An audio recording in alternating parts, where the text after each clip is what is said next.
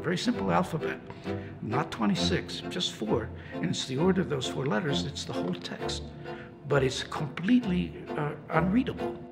Mother Nature, she holds a lot of secrets.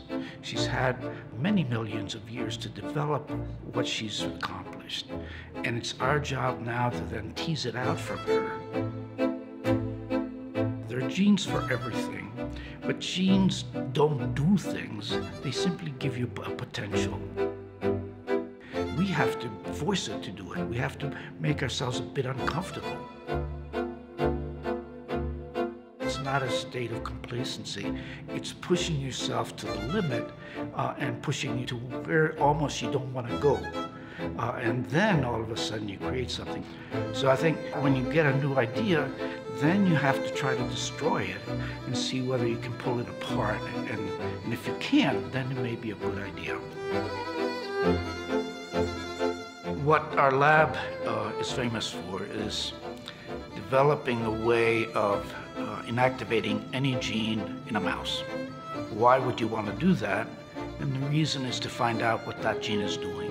For example, if we knock out a particular gene, the little finger disappears, we know we're in the program for making little finger. So then we can start getting an idea of what the genome is all about. Mice and humans are about 99.9% the same with respect to genes. So whatever we find out in the mouse is likely to be also true in humans. What I often do is try to visualize it. I take an idea from here and an idea from there, and then in my mind try to put it together and see it, what does it look like. You don't even know whether you're going in the right direction. Sometimes you may be going in the wrong direction. And so you try to figure out steps along the way to say, well, maybe we are making progress. You know, you have to have faith, you have to have uh, guts, uh, and you have to have, uh, you know, the tenacity to be able to do it the one thing I have is a history. Having somebody tell me something's impossible is simply a challenge. My name is Mario Capecchi. I'm a professor at the University of Utah, Department of Human Genetics.